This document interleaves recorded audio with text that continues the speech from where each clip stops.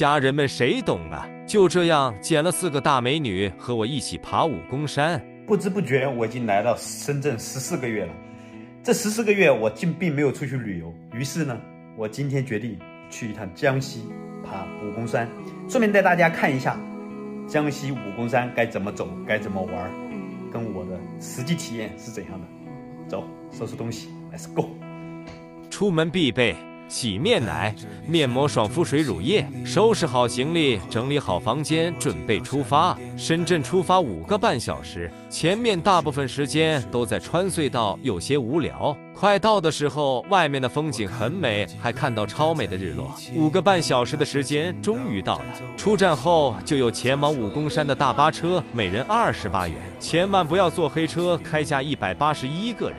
正规出租车就在左手边，起步价六元，每公里只需一点八元。先去市区睡一晚，第二天再去爬山。酒店价格一百三十四元，住宿环境是这样的：住在步行街，还可以看看美女，吃吃美食。第二天出发武功山景区，这次选了一个顺风车，到景区一个小时只需三十元，超级划算。就我一个人。想问你一下，你们这除了武功山以外？你你们本地人觉得哪里还还有更好玩的地方？没啥好玩，可能本地人都觉得自己家乡没啥好玩的了。到达山脚下，先吃一个血鸭，补补能量，准备去买票爬山。吃饭的地方就可以寄存行李，一次只要五块钱。现在去售票中心去买票。这跟刚刚是刚刚那个的士司机会不会这样送我的？到达买票窗口，你好，你好。那个做索道的话，如果没没带身份证，你怎么办？呃，那边那个柱子那里有个二维码，自己扫码买，然后订单里面的二维码入人就可以了。啊，然后就不在窗口这里买是吗？是的。啊，就扫那个二维码哈。是的。啊，那个价格是跟这边一样。价格是一样的。呃，总价是多少钱？呃，第一站走的上是六十五，再往上就是一百三十五。那我三条腰的。如果全段做做做。呃，这里只买第一段的，没有第二段的。然后第二站在山上的。好好好，谢谢。从买票窗口去坐大巴的这里，可以先选择涂防晒，提前上好厕所。现在前往大巴上车点，前往景区的大巴很多，往返都是免费的，大约十分钟就到了武功山的大门。大家都在摆各种 pose，各种美女帅哥都在这里排队拍照。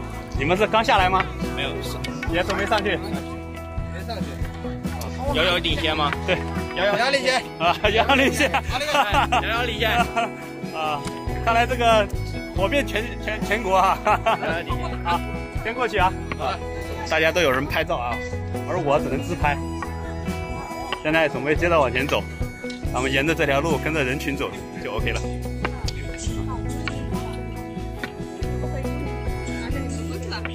你们是你们你们是徒步上去了吗？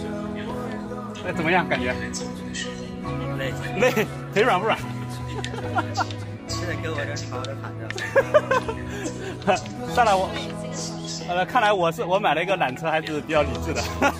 我不想，啊，应该不用了。但是，哎，不是，不是很多地方大家下来的都会都会丢的到处都是吗？嗯。啊，你们也是刚上去吗？对，是的。啊，你们从哪里来？湖南。哎，你从福建，还有湖南，我从深圳过来的。啊，对，我再录一下 vlog 可以吗？到时候我会发的。那抖音上还会刷到你吗？对对对对，啊，然后微博也可以。可以啊，我们可以一路走啊。家人们谁懂啊？就这样捡了四个大美女和我一起爬山。你们是选择坐缆车还是全程徒步？啊，我也是。